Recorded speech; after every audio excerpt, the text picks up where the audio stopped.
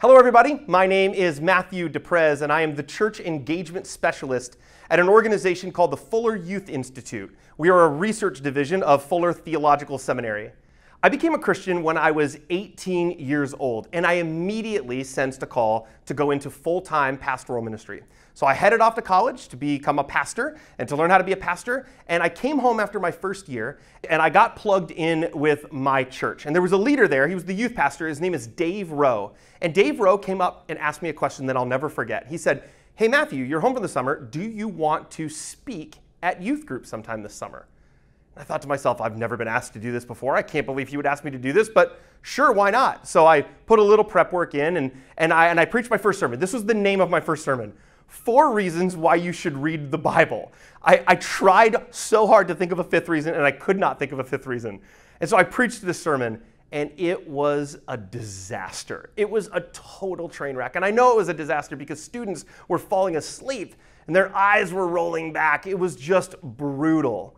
And I know for a fact that students went up to Dave Rowe afterwards and they said, Don't ever let that guy speak again. So I'm fully expecting for him to come up to me and say thanks, but I've lost my chance to speak again. And instead, he comes up to me, gives me a huge hug, and he said, Great job. When do you want to do it again? I was like, This guy will let me do this again? So he said, I want to work with you uh, on this. So let's take some time over the next few weeks, but I want you to speak again. And so he worked with me a little bit, and I prepared, and I came up with my second sermon that I preached at the youth group. It was called Two Ways to Keep from Being a Judgmental Person. I, I tried to think of a third way, but I could not think of a third thing. So I preached this sermon, and it was a disaster again. It was a total train wreck. And I know for a fact, again, people were like, don't ever let that guy speak again.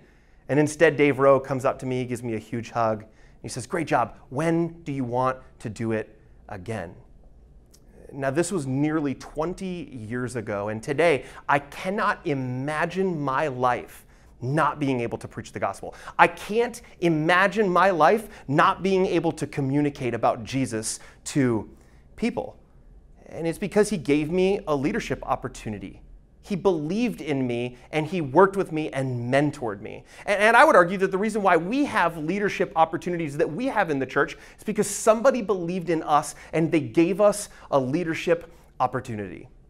Uh, we did research with 1,300 people looking at why young people love attending their church. And we couldn't deny the fact that when we asked young people, why are you involved? 75% of young people pointed towards leadership of some sort that they were given keys of leadership. We refer to it as keychain leadership, but they were given keys of leadership in their church. They mattered.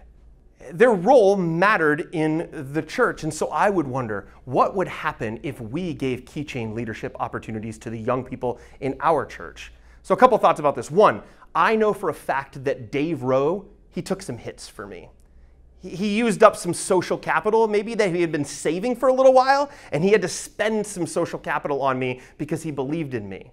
And I wonder how many of us sometimes we don't give keychain leadership opportunities to young people because we're not willing to take the hits or use up our social capital on young people. Another thought about this is that some of you might be asking, well, are you just suggesting we should just give away keys of leadership just willy nilly without even thinking? And we would say, no. We think that keychain leadership is about a slow matriculation. It's similar to learning how to drive a car. Uh, when you learned how to drive a car, you didn't learn how to drive a car in the middle of a blizzard, in the middle of rush hour. No, you learned how to drive a car uh, by being on a, in a parking lot with no other cars around, no other light poles around. And then eventually it built up to a back road, and then a main road, and then a main road with traffic, and then a main road with traffic in a blizzard. There was a slow matriculation that went on. And I think uh, for us, it's important with young people that we have a slow matriculation and we don't put them in too high stakes an environment too quickly because maybe they will fail and it will scare them from leading in the future. Or maybe the stakes are so high that we're not willing to give back the key of leadership. Instead, we become what we refer to as key hoarders.